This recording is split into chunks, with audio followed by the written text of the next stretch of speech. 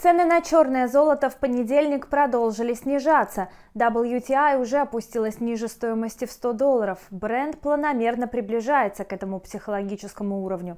Существенное изменение цены происходит на фоне продолжающегося переговорного процесса между Россией и Украиной.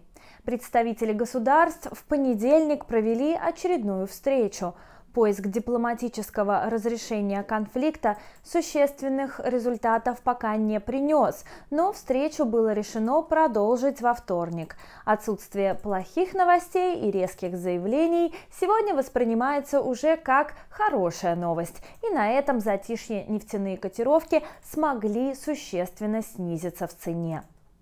Кроме того, на цену черного золота сегодня влияет и ряд других геополитических факторов.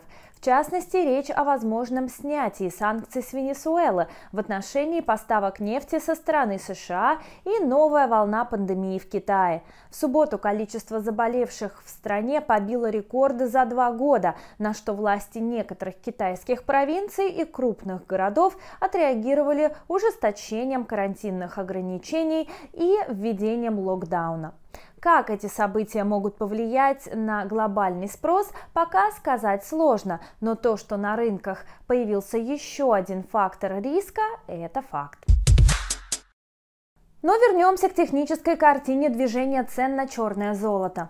Фьючерсы на нефть марки Brent продолжают следовать в рамках коррекционного хода. Стоимость актива уже достигла важного психологического уровня в 100 долларов за баррель. Для того, чтобы цена смогла продолжить нисходящий ход, котировка должна твердо закрепиться ниже этого уровня. В противном случае на рынке возникнет отскок цены с последующим возобновлением восходящего хода.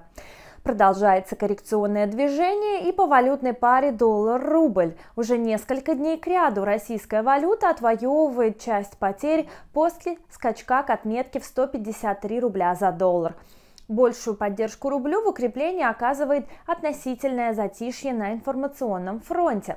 Речь о ситуации в Украине и попытках ее разрешить при помощи дипломатии – Новый виток переговоров между представителями государств, начатый в этот понедельник, пока достигнутыми соглашениями не увенчался.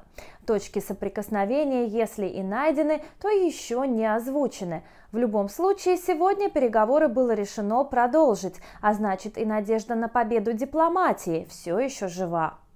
Об экономических факторах, способных укрепить позиции рубля, в данный момент говорить не приходится. Санкционное кольцо продолжает сужаться, компании покидают российский рынок, а правительства зарубежных стран накладывают ограничения – в таких условиях единственное, что удерживает рубль от нового витка падения, это переговорный процесс. Так что по его итогам пара может резко развернуться в любую из сторон. Оценивая движение торгового инструмента с технической точки зрения, мы можем отметить следующее. Пара американский доллар, российский рубль продолжает топтаться вблизи уровня 110 рублей за доллар – до тех пор, пока участники рынка не смогут удержать котировку ниже контрольного уровня на четырехчасовом периоде, сохраняется риск отскока курса и нового витка спекулятивного роста. Если же пара сможет закрепиться ниже 110 рублей за доллар, то с высокой долей вероятности торговый инструмент двинется к стоимости в 100 рублей за доллар. Что касается золота, то желтый металл продолжает падать в цене. За несколько дней актив потерял больше 120 долларов своей стоимости. Это достаточно сильное ценовое изменение, и обернуться оно вполне может новым ростом.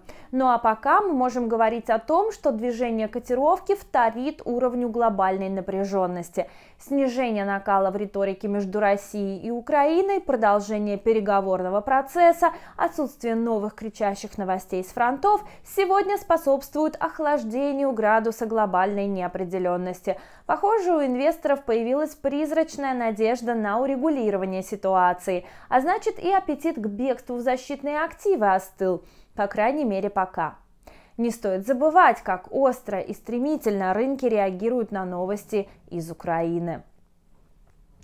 Техническая картина по торговому инструменту на сегодня следующая. Фьючерсы на золото в период минувшего дня ускорили коррекционный ход. Вследствие этого котировка опустилась ниже отметки 1930 долларов за унцию. В итоге менее чем за неделю актив потерял в стоимости около 6%, что считается сильным ценовым изменением.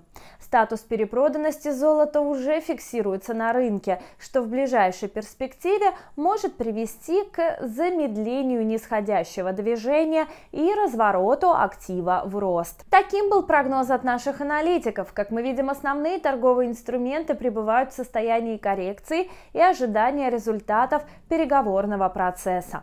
Мы продолжаем следить за событиями на рынках, так что оставайтесь с нами, чтобы не пропустить самого главного. До новых встреч!